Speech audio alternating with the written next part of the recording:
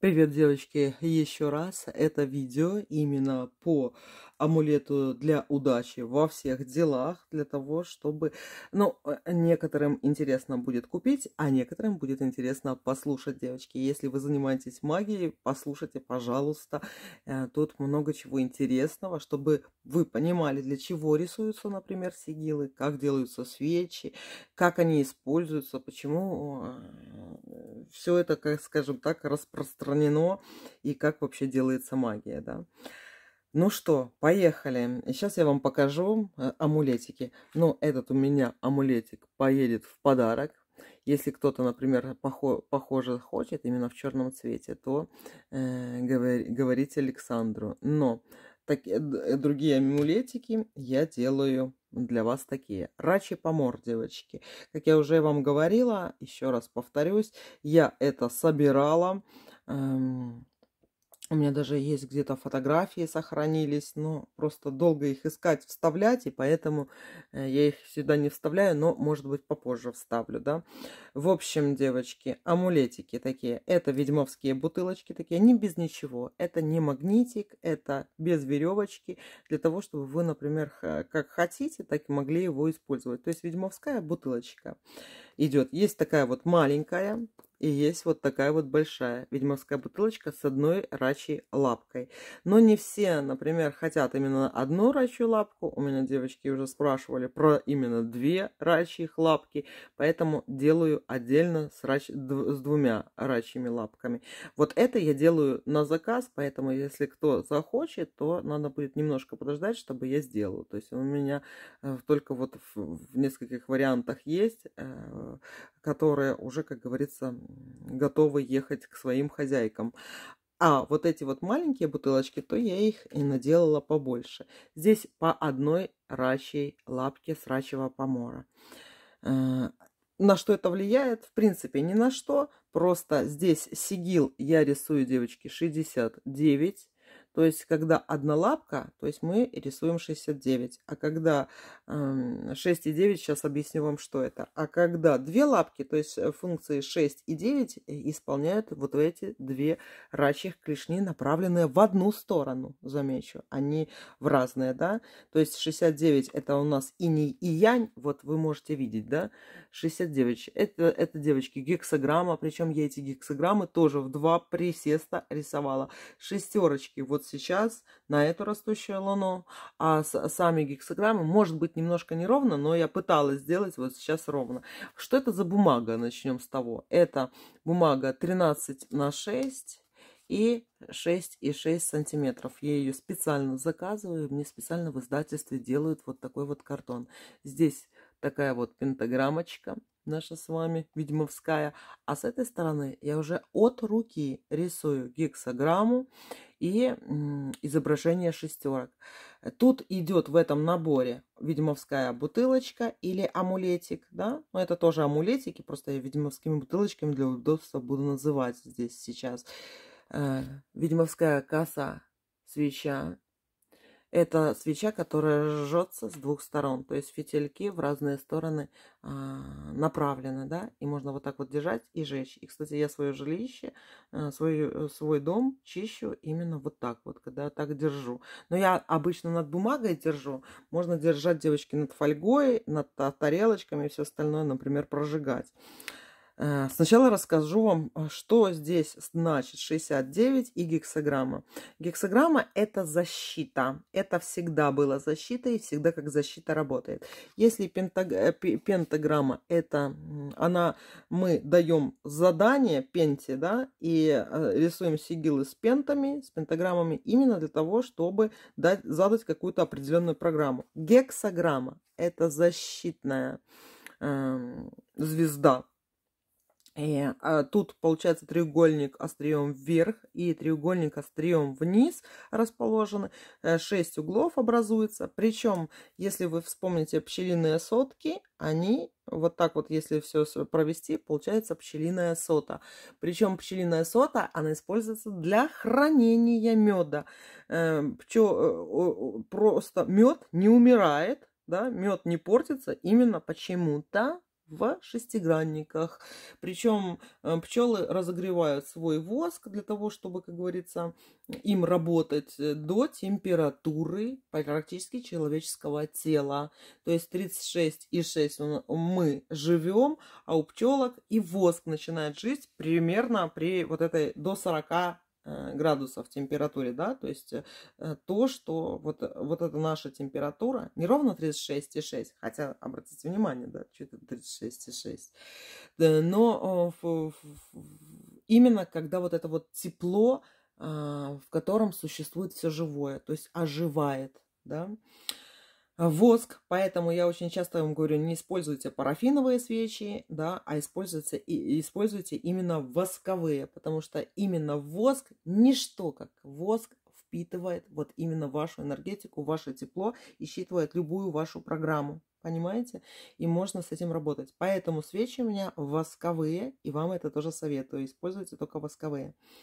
Этот э, Э, этот сигил, получается, у нас зеркальный. То есть, как мы его не перевернем, он значит одно и то же. Понимаете? И про перевернутое прямое я с вами тоже говорила. Вы можете найти видео у меня, особенно в Телеграме ссылочка есть. Оно не в открытом прям доступе, да. Но, например, если по ссылке вы увидите, как я, например, делала сигилы любовные, да, я там тоже говорю про то, как... Вот тут, правда, троелуния, да. Троелуния, пентаграмма, гексограмма – это, то, это основное, с чем можно работать именно в черной магии. И э, по-разному это все использовать. В общем, что, что такое 6 число, да? 6 число, это если судить по старшим арканам, вы можете, кстати, прям знать вот нумерологию, именно зная э, значение старших арканов. Э, шестой старший аркан, это у нас что? Влюбленные, да? То есть... Э, э, увеличение вдвое любви, увеличение вдвое достатков каких-то, всего чего угодно. Это умножаем на 2, да. Э, девятый старший аркан – это у нас отшельник. То есть мы делим на два. То есть шестерка влюбленная, девятка отшельник, да. То есть переворачивается, переворачивается шестерка в девятку, девятка в шестерку. И знак инь и янь черного и белое, белого вы тоже можете видеть, что очень похожее изображение. Ну, практически 69 оно таки и есть, да.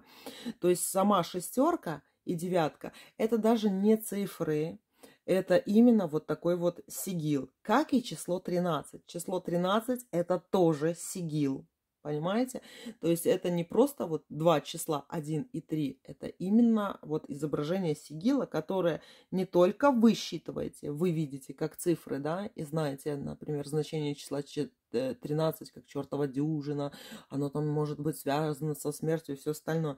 Это, девочки, определенный черномагический сигил. И а, а, и в, именно в черной магии, нигде, наверное, так не используется, как именно магия. Видите число 13, знаете, что это именно связано 100% с магией. Дальше, мои дорогие, а, про сам... А, а, давайте про, кос, про косу свечу вам расскажу. Они у меня были и просто в таком вот варианте, без а, э, шафрана, скажем так. А здесь я использую уже шафран. То есть, э, почему шафран? Потому что мы сами знаем, какой вот этот был 22 год, какой 23 сейчас год и какой будет 24 Поэтому чем шафрана больше в нашей жизни, тем лучше. Потому что шафран... Э, полынь очень, очень э, крутая травка, да, и шафран наравне с полынью, но если полынь больше чистит и людей, и тело, организм, и энергетику, то, например, шафран, он э, защищает, во-первых, да, а, и даже, например, вы знаете, что очень многие э, старинные э, книги, в том числе Коран, тоже писали именно шафрановыми чернилами. И тоже это не просто так, потому что вот сам шафран – это защита. Защита. Эм. Дальше, что есть еще куркума, но это такая вот больше как пыль, да, э, молотая все. И, э, кстати, я бы не сказала, что куркума и шафран это одно и то же. Но, но здесь я отыскала вот именно шафран, девочки. Мне восточные люди э, заготовили, продали именно настоящий шафран. Дорогое удовольствие, девочки, на самом деле, но все же надо пользоваться. Для чего это в ведьмовской косе свечи? Во-первых, здесь фитили расположены в разные стороны. Тут вот черный, и тут вот светлый. Ну, просто он сейчас в воске, то особо не видно, да. И э, самое главное, что эту свечу мы жжем, зажигая с двух сторон. То есть нет ни начала, ни, ни конца. Главное первый раз зажечь с одной и с другой стороны. Потом можно быстренько потушить, и можно уже ставить свечу. То ли так, то ли так. Когда вы в первый раз, вот вам приходит амулет, это я вот сейчас для девочек, кто будет приобретать, да. Когда вам приходит амулет, мы ложим его рядом с собой на расстоянии вытянутой руки, не более. То есть в нашем с вами астральном теле, скажем так, тело, которое работает, которое несет в себе очень много энергетики, вот как душа. Какого размера душа у человека? на расстоянии вытянутой руки, как у, в картине Леонардо да Винчи, когда он человека рис, э, рисовал в сфере. Вы видели, да? Вот это изображение, на самом деле, вот души человека. Так вот, и вы видели тоже, что гексограммы, пентаграммы то в круге, то без рисуются, да? Э, все печати, э, бесов, ангелов тоже. Все у нас в кругах, скажем так. Здесь круга нету, потому что мы его рисуем вокруг себя. То есть руками вокруг себя сделали, э, пространство ощутили. И когда мы работаем с магией, что-то делаем магическое, да, почему, например, к иконам преклоняются, целуют, почему там что-то у груди держат, да, почему амулеты носят вот с собой или э, на определенных своих местах, точках – Э, что-то мы ложим под подушку, что-то мы держим на рабочем столе, что-то мы носим именно с собой, да. Все амулеты имеют определенную такую направленность. Какую направленность? Тут не обязательно следовать каким-то инструкциям, потому что вот как вы чувствуете, так и носите. У меня, девочки, бывает так, что я даже... У меня есть специальные такой пакетики с кладбищенской землей, и я ношу это с собой. Причем у меня есть девочка одна, которая... Она долго не открывала это и не говорила, да, но вот мы с ней разговорились на эти вот все темы при ну, таком первом знакомстве, скажем так, и она носит э, части веревки, на которой э, совершил, ну, совершила суицид ее мама. То есть она носит эту веревку как берег.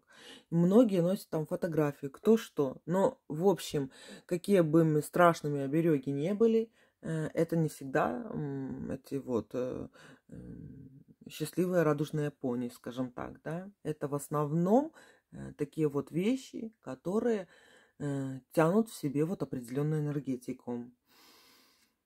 Вот, когда вам придет, например, посылочка, да, первое мы зажигаем свечу с двух сторон, а, а зажигаем сигил, можете, вот, но я тут уже не зажигаю, но все же, да, зажигаете, подержали в руках, главное, чтобы рядом с вами была водичка, свечу зажгли, э, э, затушили, сигил прогорел хотя бы наполовину. Главное, чтобы он схватился, да.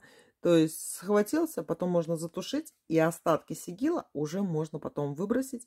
То есть самое главное, мы его зажгли. Можно, чтобы он полностью прогорел, э, положить его в какую-нибудь, знаете, фольгу, на тарелочку, а, подготовиться так, чтобы водичка рядом была, если что, потушить этот сигил. Желательно это не то, что там можно сделать дома, да, можно сделать в ванной, можно сделать даже в, в туалете, где-нибудь запереться, чтобы вы были одна, понимаете, одна и делали вот такой вот ритуальчик, или сидели э, в комнате своей, к примеру, да, или на кухне, неважно где.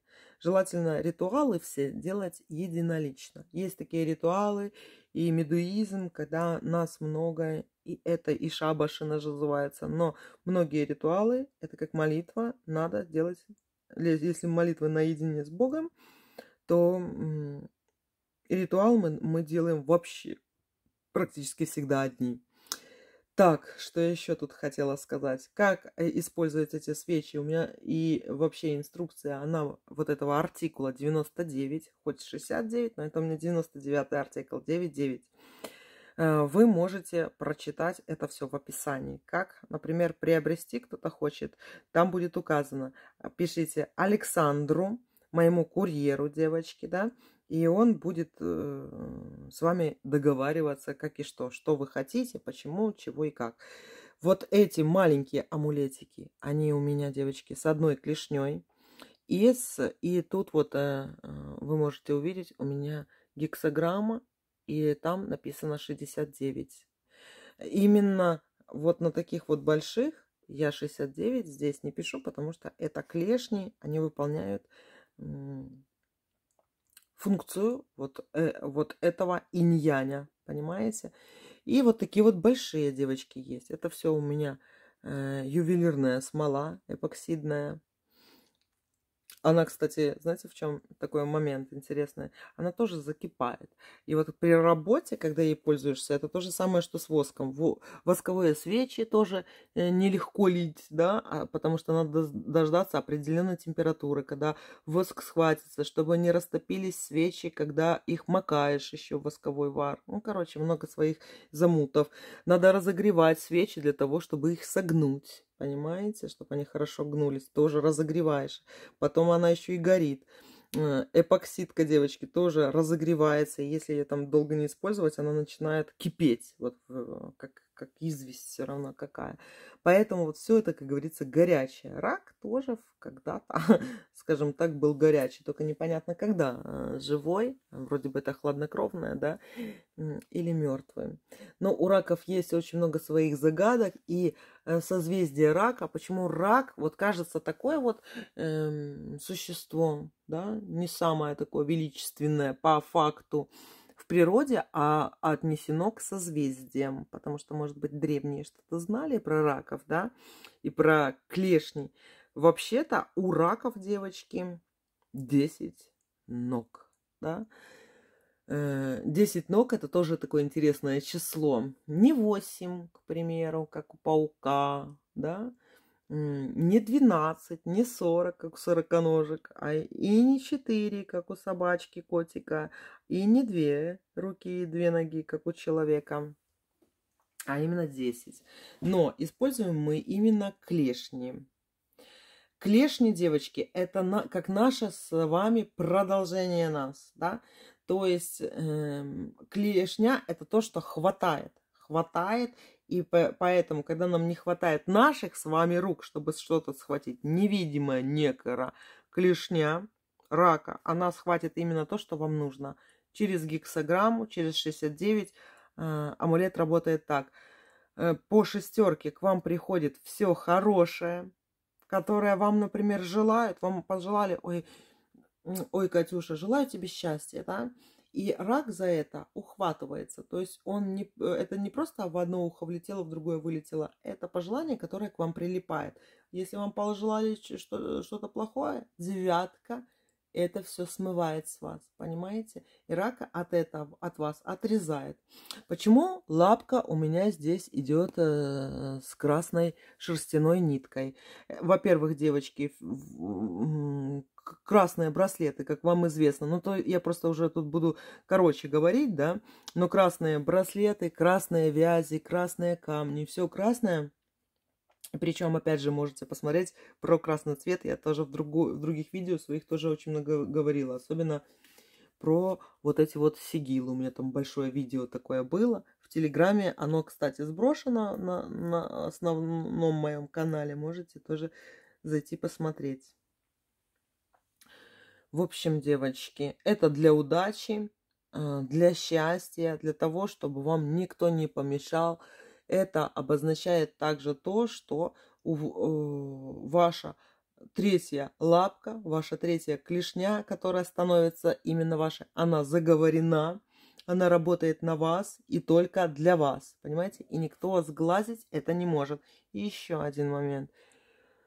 Вот оно, девочки, не будет читаться. Когда человек носит красную нить, диагностировать на картах Таро человека очень тяжело. И когда, у, например, у диагноста, кто, например, захочет вам зла, допустим, да, он хочет вас просмотреть, узнать о вас что-то и все остальное, это защищает вас.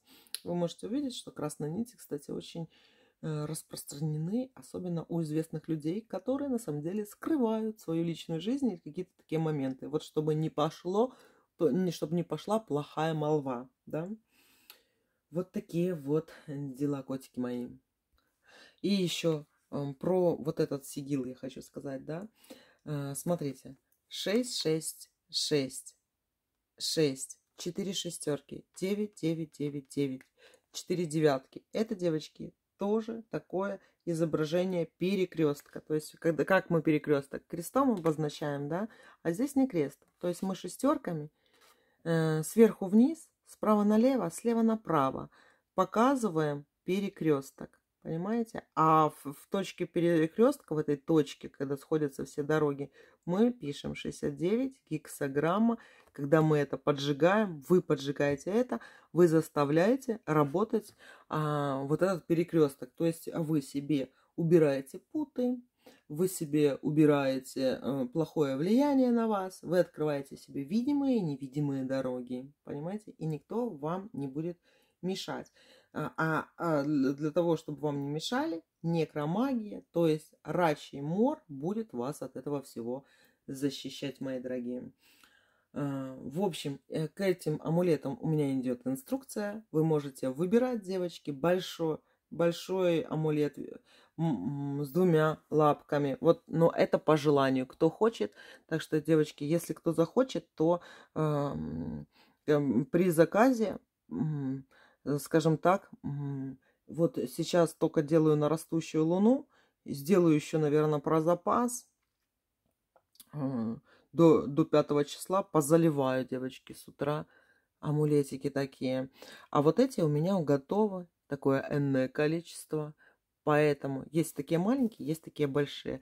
Маленькие удобно скажем так, в руке держать, да, например, если вы там на собеседованиях или что-то, чем-то таким серьезно занимаетесь, можно спрятать в ладошку. Вот этот не спрячешь, да, но иногда кто-то хочет побольше, к примеру. К маленьким девочке я еще какой-нибудь дополнительный подарок. Ну, я вообще всем ложу дополнительные какие-то интересные подарочки. Э, когда, когда у меня они есть, э, то есть я их изготавливаю отдельно.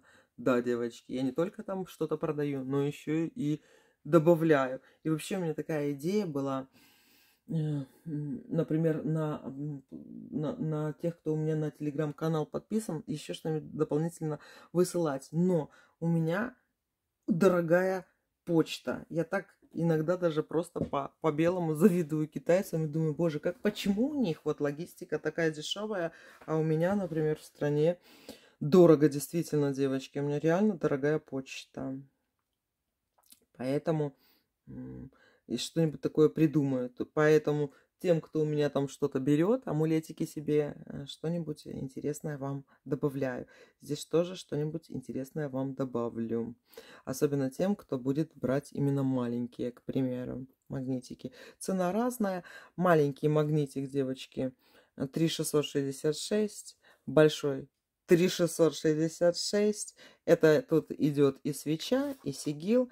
И большой девочки, э, из-за из того, что этих лапок у меня, ну, скажем так, наперечет большого размера, да, эм, и они все разные, поэтому тут разное количество ингредиентов уходит, и надо будет эм, подбирать. Но, в общем, они у меня по другой цене. Если вот эти 3,666, э, то вот этот у меня будет, девочки, стоить 4666. Вот такие вот дела.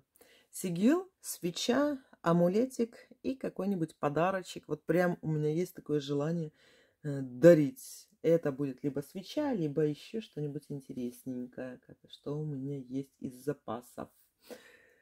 Все, мои дорогие, люблю вас, целую, обнимаю. Пока-пока.